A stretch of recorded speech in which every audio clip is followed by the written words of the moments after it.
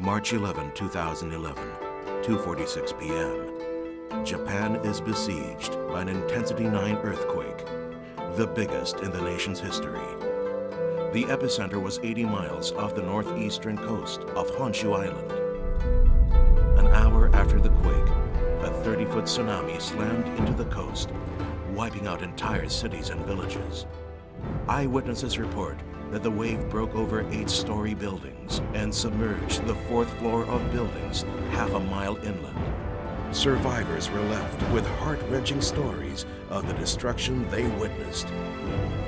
The calamity killed 11,000 people, 16,000 are still missing, and a quarter of a million people homeless. Utilities, communication, and transportation were crippled for days.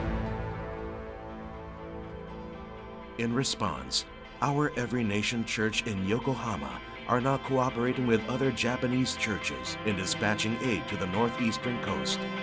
Pastor James Kobo leads the team from the Yokohama church that drives to reach the port city of Sendai and other affected areas. Hey, it's Pastor James here. We're in uh, Ishinomaki. Uh, we're in one of the really hard hit areas right on the water's edge. About 14 tons of uh, relief supplies. It's just beginning. Uh, this is this is a this is not a sprint. This is going to be a marathon. But God's doing great things, and God's going to use this for His glory. This is an opportunity for us to act and to really do something good for Japan.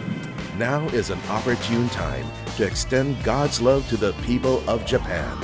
While we pray for open doors for the gospel to bring healing and comfort in this dark time, we can also support the relief efforts by donating through every nation.